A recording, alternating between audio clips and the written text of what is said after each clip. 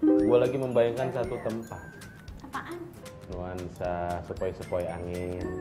Ah, Neng tahu, Neng tahu. atas pasir dan de- terdengar Neng tahu, Neng tahu, Neng tahu. Oke. pasir dan sepoi-sepoi angin. Kira-kira di mana Neng? Eh, pasir. Oh, ah, Neng tahu di mana? Di mana? Pasar Impres. Kan anginnya cepoi-cepoi pasar. Capek ngomong sama lu Neng. Ha-ha. Gue pengen Eh, oh, Neng. pengen ke Hawaii. Berhubung kita berngomong tentang kuliner, jadi gue pengen nyoba masakan jujur ya. Kalau kita pribadi belum pernah mencoba masakan khas dari Hawaii itu seperti apa. Mana ada Kang Pepe? Nah, gue dapet info Neng di sini tempatnya katanya. Kang, tapi ntar ajarin Neng ya. Iya, tunggu ini titip gitar.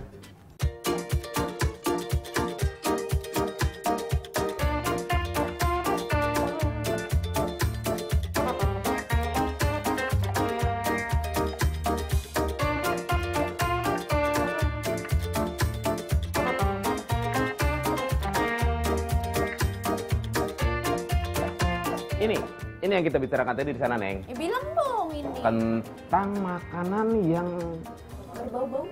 Hawaii. Kita coba dulu.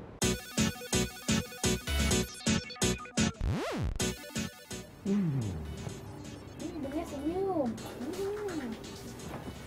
Untuk yang penyuka ikan mentah, kalian harus coba. Beb, ikannya fresh dong ya Fresh, pastinya. fresh ya. Kang, Neng cobain yang ini ya, boleh nggak? Abisnya Wah, kemarin kan ikan mentah. Siapa tahu nih buat punya siati yang nggak doyan ikan mentah ya kan? Mm-mm. Soalnya gue bilang ya, untuk yang penyuka ikan-ikan fresh yang tidak dimasak, harus coba ini, harus coba ini. Kita coba yang ini. Wow.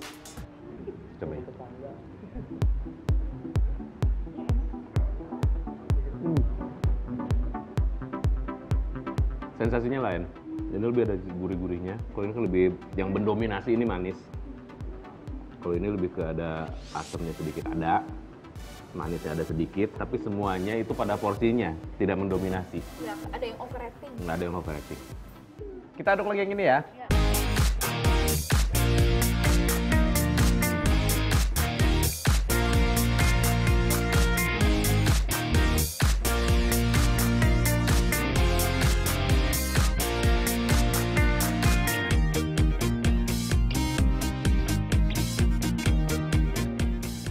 Unik.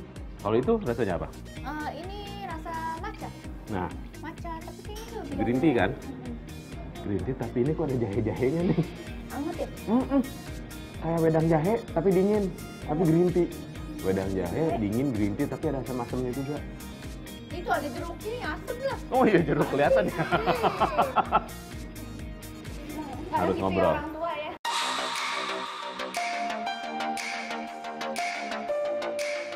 Halo, Halo, siapa namanya? Tasya. Mbak Sasya, Jenda. Mas Jenda. Eh, kalian berdua yang mengelola ini tempat ini kan? Iya, bareng oh, kita bertiga sih. Oh bertiga. Iya. Pertemanan. Iya. Oke. Yang ingin pertama yang saya ingin tanyakan, jujur ya, selama ini kita belum pernah tahu kita ya. Kita belum pernah tahu masakan khas dari Hawaii itu seperti apa. Karena kan kurang begitu masyarakat kan.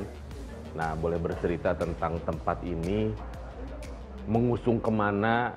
Jadi eh, pertama tuh eh, makanan poke, ramuan Hawaii sendiri itu Poke? poke bowl ini kan poke bowl namanya. Nah, boleh diceritakan tuh, pokeball, pokeball. Poke itu artinya eh, cukat untuk motong. Oh, Cuman nggak yang- pakai mon ya belakangnya. Po- bukan. Bukan. Oh. Beda. Cuman Bahasa kalau mana tuh?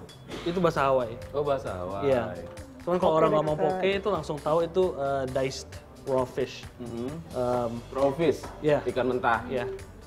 Terus em, sebenarnya nih makanan Hawaii itu banyak influence sama Jepang juga. Oh, Karena mereka gitu. sangat dekat sama Jepang. Nggak terlalu jauh ya? Enggak. Terus kita coba bareng sama executive chef kita, pokoknya salah satu owner di sini juga. Pas pertama kali coba enak banget terus kita mau kita berani buka restoran ini. Jadi di sini ternyata mereka hanya ingin, menurut saya maaf ya, maaf saya menyampaikan ya, mereka hanya ingin menyampaikan bahwa di sini semua makanannya sehat. Betul. intinya Mengarah ke sana. intinya ya lain memperkenalkan dengan gaya-gaya Hawaii itu ya Iya.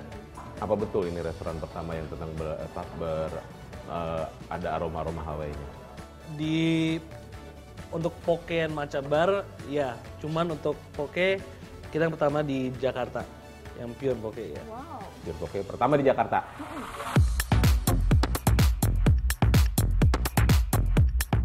Mbak Mas boleh saya minta foto? Nanti kita simpan di Instagram kita. Sip. satu dua tiga. Hanu